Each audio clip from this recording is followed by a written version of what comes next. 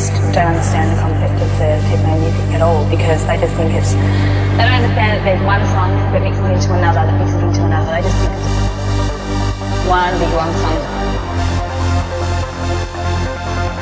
Basically, a 4 4 rhythm is from the African beat, and um, that's one of the most profound rhythms.